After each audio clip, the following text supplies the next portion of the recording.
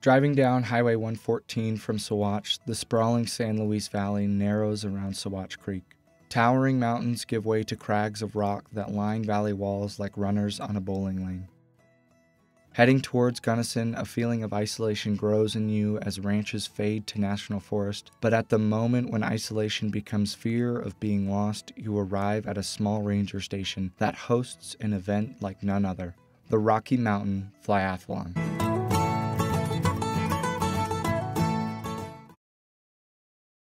Friday night is spent in preparation for Saturday morning.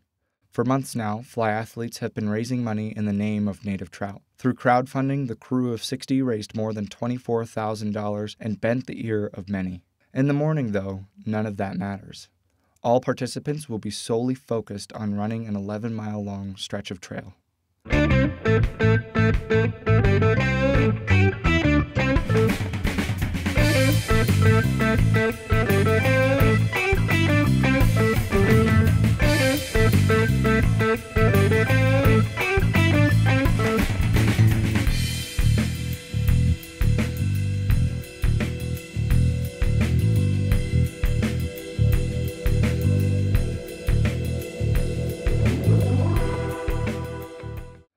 During their run, participants are encouraged to catch a trout for added points.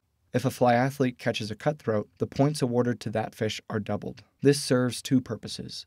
On the surface, it adds points to your score, but peel back a layer of selfishness and you'll find that these added points equate to a natural understanding of the cutthroat's importance.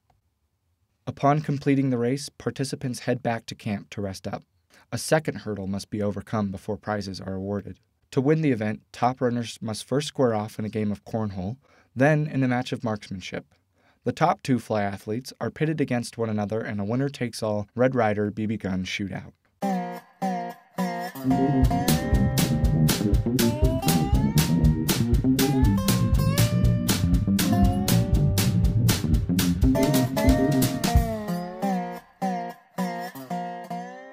Prizes are also awarded to those fly athletes that raised $500 or more, and the top fundraiser is adorned with prestige and booty.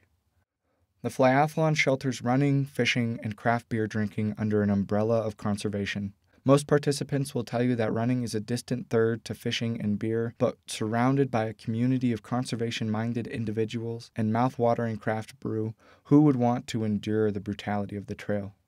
The 24,000 and some dollars the event raised will go towards ensuring the longevity of native cutthroats, while conversations had around the campfire will spread a net of community over seemingly distant realms of recreation.